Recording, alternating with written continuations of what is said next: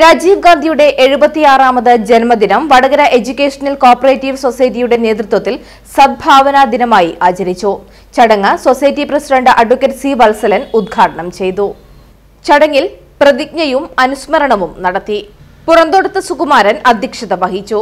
V K Preman K K Murugadas Nisha Subith Nithya Sathyanand Reeja K Riya Viswanathan Aishwarya എന്നിവർ സംസാരിച്ചു. നിർണായക ഘട്ടത്തിലാണ് India രാജ്യത്തിന്റെ സാരഥ്യം ഏറ്റെടുക്കുന്നത്.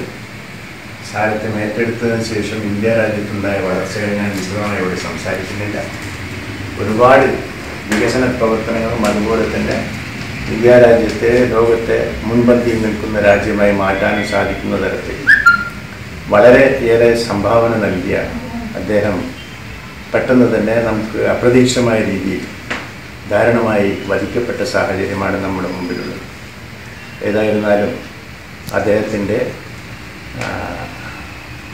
ആ, ഒരു പ്രവർത്തനങ്ങളും അതുപോലെ തന്നെ മറ്റു കാര്യങ്ങളും നമ്മൾ ഇന്നും വളരെ കൂലങ്കുഷമായി തന്നെ പരിശോധിച്ചാൽ വലിയ രീതിയിലുള്ള സംഭാവനയാണ് എന്നുള്ളത് നമുക്ക് മനസ്സിലാക്കാൻ സാധിച്ചിട്ടുണ്ട്.